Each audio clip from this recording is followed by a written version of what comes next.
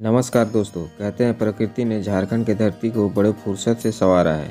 गिरिडीह की सबसे ऊँची चोटी पारसनाथ की बात करें, या चतरा स्थित मनोरम छटा को बिखेरती तमासिन जलप्रपात की, या फिर कोडरमा स्थित चंचाल पहाड़ की खूबसूरत वादियों में बसा चंचालनी धाम की।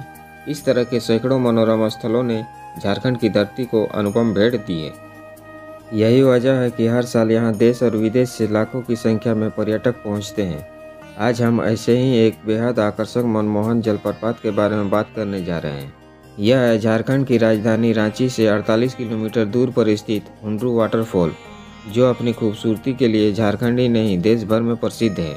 आज हम आपको इस वीडियो में बताने वाले हैं हुंड्रू फॉल की महत्व क्या है, हुंड्रू फॉल कैसे पहुँचे, हुंड्रू फॉल की प्रवेश शुल्क कितना है, हुंड्रू फॉल में सुविधाएँ क्या क्या है, वहाँ खाने पीने की क्या व्यवस्था है, हुंड्रू फॉल जाने का सबसे अच्छा समय कौन सा है हुंड्रू फॉल में कौन कौन सी सावधानियाँ बरतनी पड़ती है, तथा हुंड्रू फॉल को देखने का समय कौन सी है?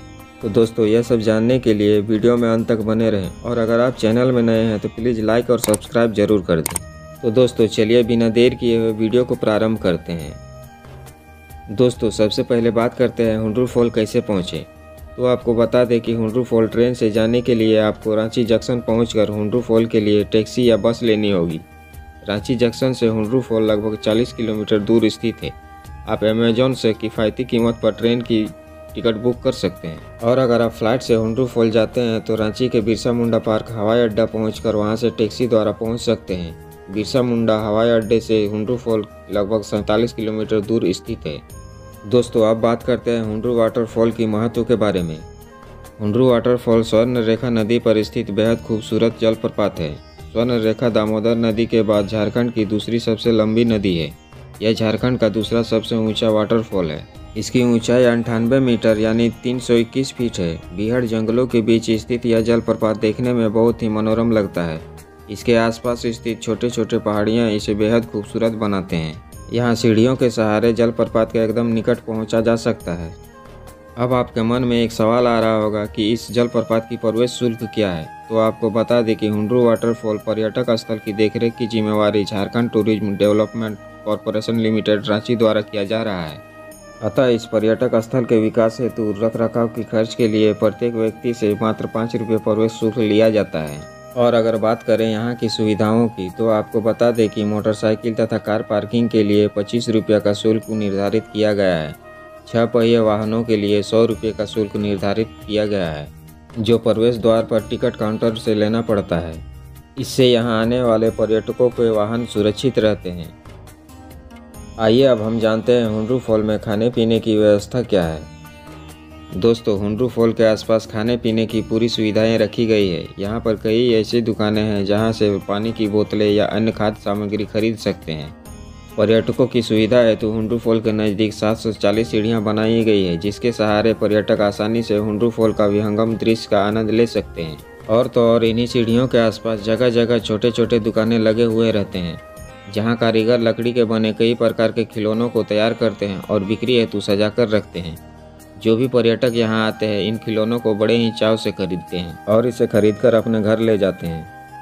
पूरे क्षेत्र को स्वच्छ और सुरक्षित रखने के लिए जगह जगह पर डस्टबिन रखे गए हैं, ताकि कूड़े करकट को डस्टबिन में डाला जा सके। हुंड्रू फॉल को ऊपर से देखने के लिए एक रोपवे बनाया गया है, जिसके सहारे व्यक्ति ऊपर से हुंड्रू फॉल की अद्भुत दृश्य को देख सकते हैं। इसके लिए प्रत्येक व्यक्ति शुल्क तीन सौ रुपया रखा गया है। इसका उपयोग खतरनाक हो सकता है, इसलिए इसके उपयोग हेतु दिशा निर्देश का पालन करना होता है, और कुछ गंभीर बीमारी से ग्रस्त लोग भी इसका उपयोग नहीं कर सकते। दोस्तों, अब बात करते हैं हुंड्रू फॉल देखने की टाइमिंग के बारे में। हुंड्रू फॉल देखने हेतु आठ बजे सुबह से शाम साढ़े चार बजे तक समय निर्धारित किया गया है। इसी बीच गेट खुला रहता है।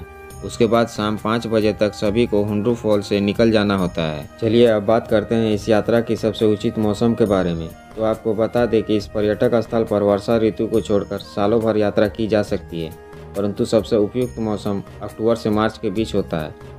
क्योंकि इस महीने में बरसात और गर्मी की समस्या नहीं रहती, जिससे न कि बाढ़ की समस्या रहती है और न अधिक गर्मी की। पूरा दृश्य अद्भुत और मनोरम लगता है। लगभग 100 मीटर की खाई से घाटी का नज़ारा मंत्र मुग्ध कर देने वाला होता है। कल कल बहती नदी की धारा हमें यह बताती है कि हमसे बढ़कर कोई संगीत नहीं, और ऊंचाई से गिरती पानी की धारा हमें बताती है कि प्रकृति से बढ़कर कोई कलाकार नहीं। इस अद्भुत छटा को जो भी देखा वो भाव विभोर हो गया। तो अब देर किस बात की? मन में ठानिए, इरादा बनाइए और पहुँच जाइए परिवार संग हुंड्रू फॉल। तो दोस्तों, ये रही हुंड्रू वाटरफॉल की संपूर्ण जानकारी।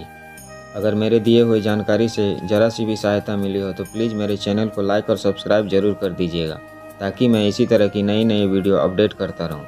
धन्यवाद।